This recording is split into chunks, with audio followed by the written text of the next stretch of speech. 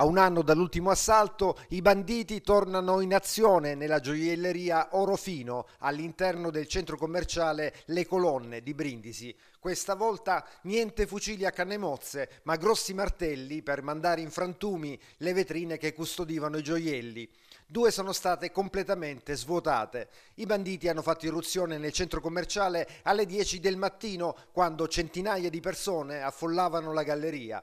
In due, con il volto coperto e armati di grosse mazze ferrate, sono entrati dall'ingresso principale e si sono diretti verso la gioielleria che si trova lontana, una cinquantina di metri. Hanno puntato alle due vetrinette più esterne, quelle che probabilmente contenevano gli oggetti maggiormente di valore e le hanno mandate in frantumi. I colpi violentissimi per sfondare i vetri sono rimbombati in tutto il centro commerciale, terrorizzando i clienti. Un dipendente della struttura ha avuto la prontezza di riflessi di invitare tutti attraverso gli altoparlanti a spostarsi nella zona dei bagni. La rapina è durata pochi secondi, distrutte le due vetrine e arraffato il loro contenuto che è stato gettato in alcuni borsoni, i due sono scappati all'esterno dove li aspettava un terzo complice al volante di un'auto di colore scuro, probabilmente una Giulietta. Pochi minuti dopo sul posto sono intervenuti investigatori della squadra mobile e della sezione volanti, mentre i rilievi sono stati affidati alla polizia scientifica Acquisite le immagini a circuito chiuso del centro commerciale della gioielleria